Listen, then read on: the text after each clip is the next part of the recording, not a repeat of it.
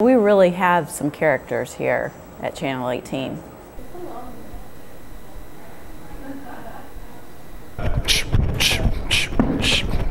Matt Dye is a very serious reporter. They, they keep life interesting. They keep us on our toes. We are definitely blessed to have a, a great mix of characters in our sports class.